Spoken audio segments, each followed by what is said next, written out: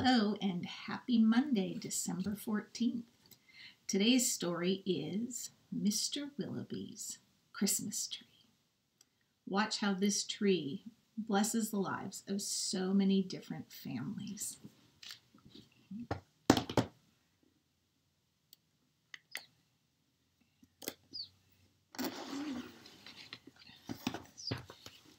Mr. Willowby's Christmas Tree by Robert Barry.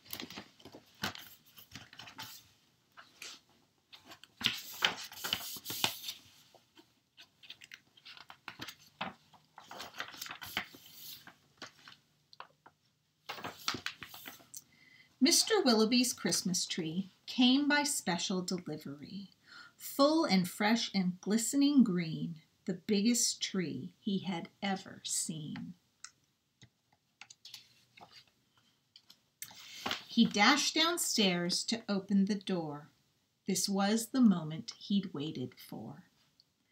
A magnificent tree! Splendid, he cried. Please, sir, won't you carry it right inside? I think it might look best this year, right in the corner parlor here. But once the tree stood in its place, Mr. Willowby made a terrible face. The tree touched the ceiling, then bent like a bough. Oh, good heavens, he gasped. That thing must go. Baxter the butler was called in in haste to chop off the top, though it seemed quite a waste. That's great, Mr. Willowby cried with glee. Now we can start to trim my tree. When the trimming was well under way, the top was placed on a silver tray. Baxter said, I know who'd just be delighted with this Christmas tree. So it was presented to Miss Adelaide, Mr. Willowby's upstairs maid. Won't this tree be a pretty sight when I have it trimmed later tonight? But the top, oh dear, I'm so afraid, will have to be cut, sighed Miss Adelaide.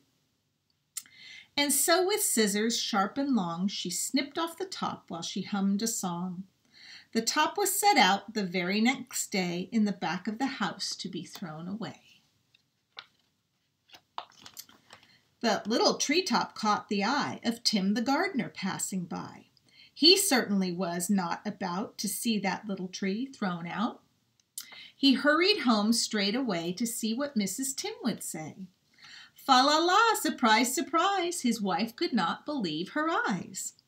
But our house, she said, is so snug and small, I do not believe we need it all.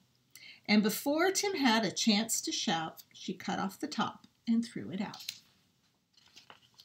Barnaby Bear was padding by. It almost hit him in the eye. Now, who would throw a tree away so very close to Christmas Day? I'll take it home. That's what I'll do. Look, Mamma Bear, I've a present for you.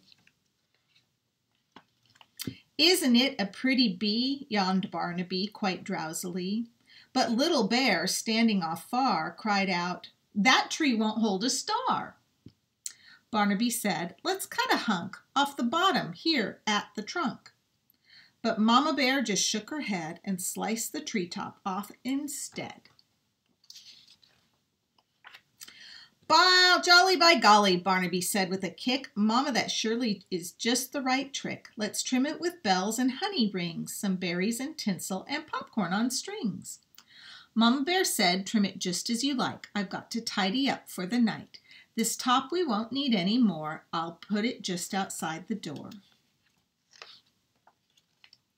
Later on that frosty night, Frisky Fox came into sight. He spied the treetop, rubbed his chin, open his sack and stuff the top in.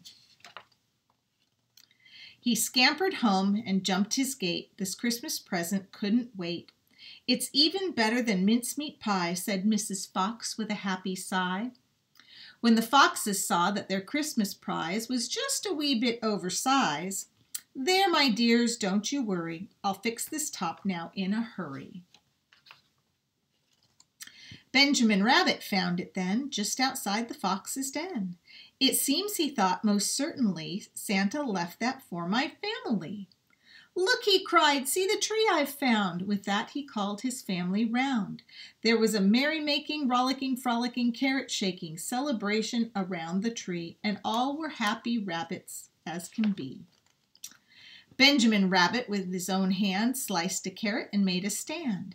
Now let's see how this will look in our little chimney nook. It's too tall, that's all, said Mrs. Rabbit, and as though it were a summer carrot, she gave it a chop and threw away the top.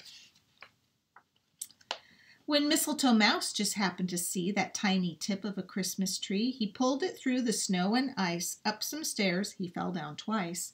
At last he reached his cozy house. It's just the right size, said Mrs. Mouse.